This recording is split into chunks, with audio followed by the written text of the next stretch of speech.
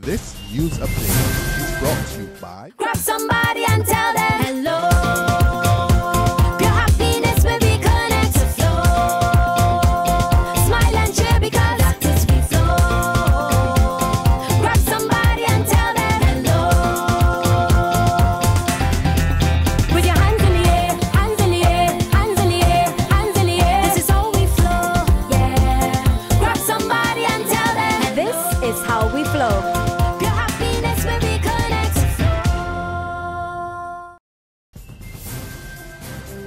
Welcome to the Barbados Today Afternoon Update for Tuesday, October 13th. I'm Fernella Wedderburn. Thanks for joining us. Lawmen are investigating a suspected suicide in Black Rock, St. Michael. According to Police Public Relations Officer, Acting Assistant Superintendent of Police, David Welch, the body of 49-year-old Reginald Young was found hanging in the bathroom of his Carlington Terrace St. Stephen's home at around 7.40 a.m. He was found by his wife. Police are treating his death as unnatural at this time. The Ministry of Education will in the coming months equip students with the necessary instrument outlining their rights and privileges. Word of this from Education Minister Ronald Jones, who revealed that he will soon be engaging local education partners about setting up a student charter. Jones told the media following the opening of a youth conference this morning that the voices and rights of young people are not being articulated clearly enough, especially given the social ills plaguing the country, and the proposed charter will seek to address that gap. I mean, over time, we've had so many complaints, parents, from some teachers, from students themselves, um, even students who've left school who believe that they might have been disadvantaged, that they never had an opportunity to truly and genuinely defend themselves when, let's say, a, a charge or a complaint is brought against them.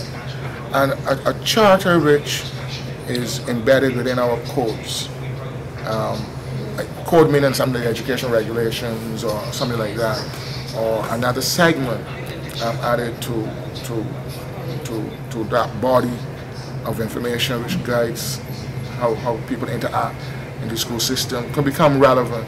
The majority of businesses in the city are following fire prevention codes, so says Chief Fire Officer Errol Maynard, following a walkthrough in Swan Street this morning.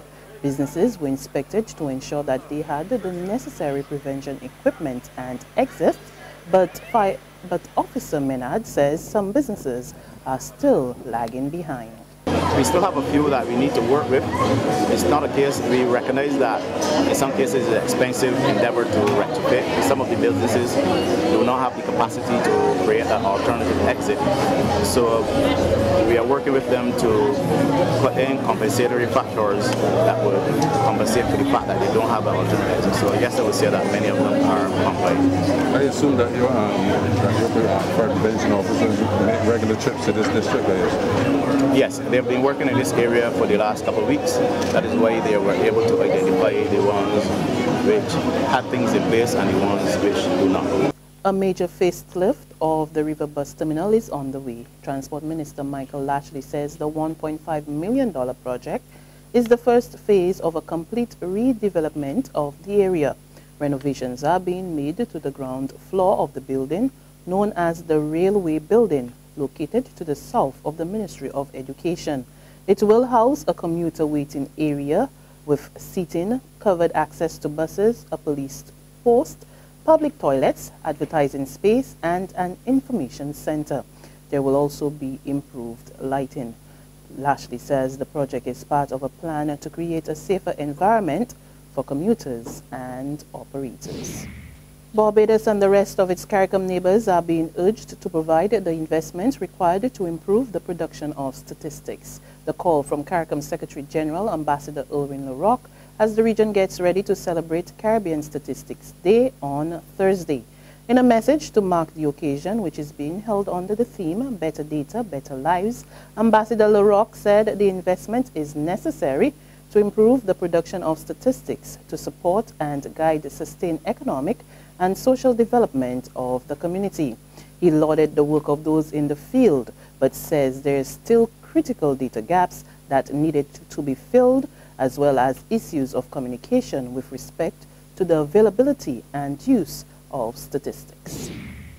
In sports, can the world's fastest man run any faster? Well, Usain Bolt wants to break his own 200-meter world record. As he opened training for the 2016 season in Jamaica yesterday, Bolt says there's a lot more left in his tank and he really wants to run under 19 seconds. He's confident he can do it and he says he has the support of his coach Glenn Mills, so he'll be putting in all the work. Bolt says he's looking forward to the Olympics and he won't be settling for anything less than go in the 100 and 200 meters. There's regional and international news after this short break.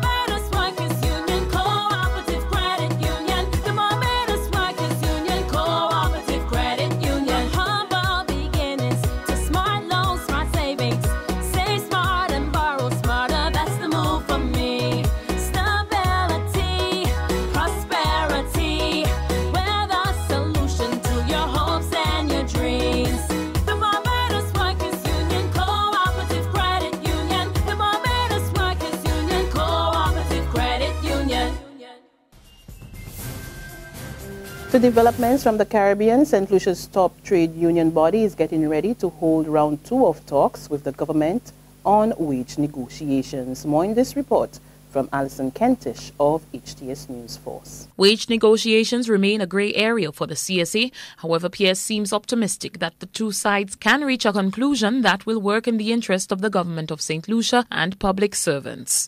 We have decided to do is to partner with government in, in terms of having a, a, national economic and social partnership with government. So what we have been doing is going around having discussions with our members. We were in the south on Friday and today we with the, the Ministry of Health, Victoria Hospital, and later we're going to the Ministry of Agriculture. Coming out of his meeting with the public servants, Pierce says a main concern is the inability to own their own home. He suggests government waive land and house taxes for a period of five years. Pierce says the CSA will include this suggestion in a proposal that is due for presentation to the government by Friday, October 16, 2015. We are ready. We have done our homework and we're waiting to engage the government. On the world scene, more than a year after Malaysian flight MH17 crashed over Ukraine, the Dutch Safety Board confirms that a Russian-made missile brought down the aircraft. 298 people perished in the July 2014 disaster. The chairman of the Dutch Safety Board pre presented the findings to the victims' relatives. Flight MH17 crashed because of a 9N314M warhead detonated outside the aeroplane above the left side of the cockpit. This warhead fits the kind of missile that is installed on the Buk surface-to-air missile system. As a result of the warhead's detonation, thousands of small, preformed metal objects were ejected with tremendous force. Many of these objects were bow-tie shaped or cubic. Several hundreds of them hit the aeroplane. The impact killed the three crew members present in the cockpit at that moment and caused structural damage to the forward part of the aeroplane. As a result of the detonation, the forward section of the airplane broke off, after which the airplane broke up in the air. The tail section probably crashed before the center section. This center section, which also contained the engines, hit the ground upside down and caught fire. The breakup resulted in a wreckage area of about 15, 50 square kilometers. And on that note, we come to the end of our afternoon update. But for the very latest, log on to www.barbadostoday.bb, subscribe to our e-paper, our email updates, and like us on Facebook. We are also on Izumi Media in bus terminals or screenplay at supermarkets and gas stations near you, as well as Channel 101 on Flow TV and Mix 96.9 FM. There you can get all the latest news and sports. And don't forget to join us again this evening for another update. I'm Fernella Wedderburn. Good afternoon.